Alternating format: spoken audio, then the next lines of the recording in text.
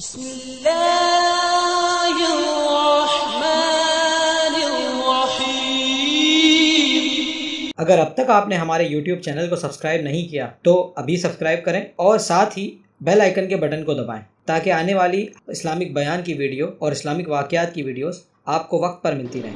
Yazid उनतालीस साल की उम्र में मर गया। उसका बेटा भरपूर जवान भरपूर जवान, उन्नीस बीस साल की उम्र में तीन बर आज़म की खिलाफत पर बैठा। तीन बर आज़म की खिलाफत पर, तीन बर आज़म की खिलाफत। उम्र कितनी? अठारह, उन्नीस साल। जवानी, पागलपन, बेहोशी। चालीस दिन हुकूमत की, चालीस दिन। इकतालीसवें दिन अपने सारे खानदान बनो उमैया को इकट्ठा किया। और आकर मेंबर पर यूँ बैठा। कहने लगा आज एक बात करनी है तुमसे। उनको पता नहीं क्या ऐलान कर रहा कहा देखो मेरा बाप जालिम था। जब्बार था जालिम था। उसने तख्त की खातिर अहलुल बैत का खून बहाया और वो तख्त जिसके नीचे अहलुल बैत का खून हो और जिस तख्त के नीचे हुस, हुसैन का खून हो, मैं उस तख्त पे लानत भेजता हूँ। ये है तुम्हारी हुकूमत, जिसको मर्ज़ी दे दो, मैं ये जा रहा तीन बर्र आज़म की बाप की हुकूमत को लात मार दी कि इसके नीचे हुसैन का खून है, मुझे नहीं चाहिए। फिर घर से जनाजा उठा है, खुद नहीं निकला। तीन बर्र आज़म यजीद के बेटे ने छोड़कर अमर हो गया। मेरा ताजर तीन रुपए पे झूठ बोलता है। तीन रुपए पे धोखा देता है। फ्रॉड करता है। फिर इस्लाम जिंदाबाद के नारे लगाता है। फिर हुक्मरानों को गालियाँ देता है। अरे कभी इसे भी तो खोलो।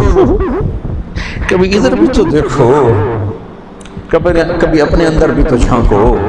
तुझे क्यों फ़िक्र है, ए गुल दिले सद चाक बुलबुल की? तू अपने पैर हन के चाक तो पहले रफू कर ले। फला ऐसा नवाज़ शरीफ ऐसा, भुट्टो ऐसा, जरदारी ऐसा, चौधरी ऐसे। तो मैं कैसा हूँ? कभी इसको भी आईने में खड़े होकर देखो कि मैं कैसा हूँ? पहले मैं तो इंसान बनू। मेरी जबान से तो झूठ से तोबा हो, गीबत से तोबा करूँ, फ्रॉड से तोबा करूँ खयानत से तोबा करूँ बदयान से तोबा करूँ। तो भाइयों, मुहर्रम एक पैगाम है, करबला एक पैगाम है कि जो अल्लाह को राज़ी करने के लिए सूलियों पे चढ़ गए, वही कामयाब हैं। उन्होंने सेहरे बांधे हैं।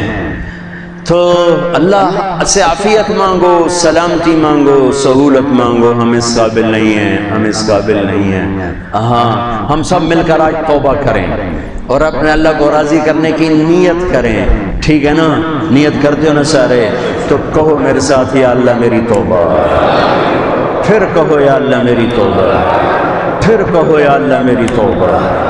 अल्लाह मेरी आपकी तोबा कबूल करे। नया साल शुरू हुआ है। जिससे लड़े हो, माफ़ कर दो। जिसने ज्यादती की है, माफ़ कर दो। तुमने ज्यादती की है, माफ़ी मांग लो, सुलह कर लो। घर में लड़ाई है, बीवी से है भाई से है, रिश्तेदारों से है, किसी पार्टनर से है, किसी दोस्त से है, उस पर अल्लाह पे डाल के माफ़ कर दो। अल्लाह पे डाल के माफ़ कर दो।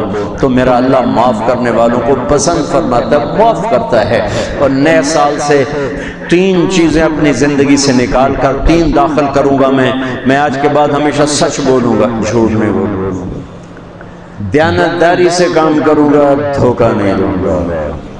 अदल इंसाफ से काम लूँगा, जुल्म नहीं करूँगा। तीन छोड़ूँगा, तीन करूँगा। अदल करूँ। अदल से मुराद ये नहीं कि मैं अदालत की कुर्सी पे बैठूं। हर वक्त आदमी जुल्म और अदल के दरमियान चल रहा है। गलत चीज़ बेचना जुल्म है, सही बेचना अदल है। अदल तो यहाँ से शुरू होता है। नौकर, नौकरी में सही टाइम पे अदल है। डंडी मारे जुल्म है। मैं अदल करूँगा, जुल्म नहीं करूँगा। मैं सच बोलूँगा, झूठ नहीं बोलूँगा, मैं ध्यानदारी से ज़िंदगी गुजारूँगा, किसी को धोखा नहीं दूँगा ये मेरी बेस है, नमाज़ फ़र्ज़ है, अब आइंदा मेरा सज अगर कर बला में सजदा दिया जा सकता है तो फैसलाबाद में क्यों नहीं दिया जा सकता? तो भाइयों को जब अल्लाह मौका दे तबलीग में वक्त लगाना, इससे आपको बहुत फ़ायदा होगा। रायमंड का इज्तम भी करीब है फैसलाबाद वालों का दूसरा इज्तम है, उससे चार महीने चिल्ले के इरादे करोगे इन अल्लाह आपको बहुत बढ़ाएगा। अल्लाह ताला हमारा ये नया साल खैर वाला बनाए बरकत वाला बनाए आफियत वाला बनाए सुन्नत मोहम्मद